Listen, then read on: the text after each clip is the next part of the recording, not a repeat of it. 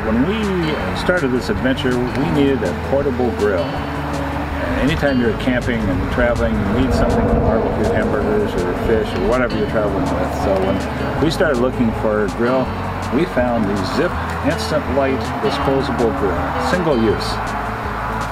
So far, we've managed to get three uses out of it, and it's holding up well. This is the bottom, still a little charred, but it's uh, it came with charcoal inside and a, a, plastic insert that was the lighter fluid, basically, you just pull. What we've done is we've added charcoal to it every time we need it, and we put this nice grill on top of it. So, uh, it's important to realize here that we did not receive this from the manufacturer. We actually went out and bought this with our own money. So it's an honest, straightforward recommendation. So anytime you're looking for a portable grill, I suggest the Zip Instant Disposable Grill, but just use it one time and then get something that works better. So this is Disposable Grill 2.0. Right. We have a special edition of a grilling area that we can put meat in and flip it. It's kind of like a basket. In fact, it is a basket. So we're actually going to try this out for the very first time tonight. Yep. We'll let you know how it works out. Thanks for watching.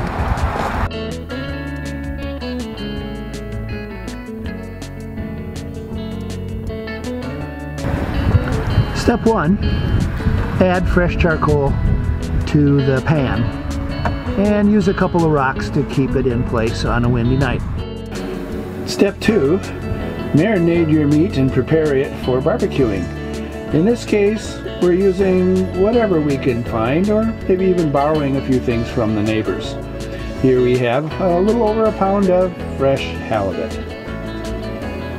Notice we've had some whiskey barrel chunks for smoky flavoring.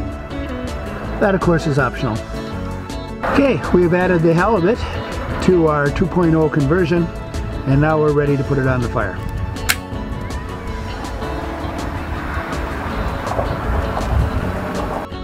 And then we add a, little special modification to uh, keep the heat a little bit more contained on this windy evening.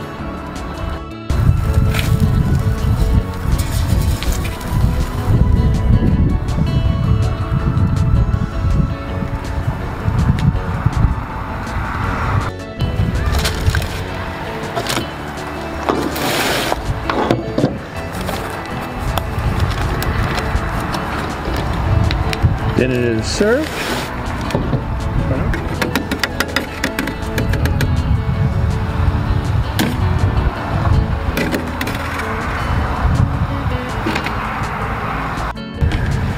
First bite response. Pretty good.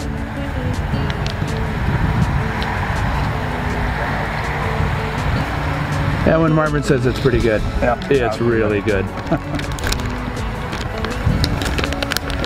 All right, we cheated with the vegetables. We have steamers. Six minutes in the microwave, ready to go.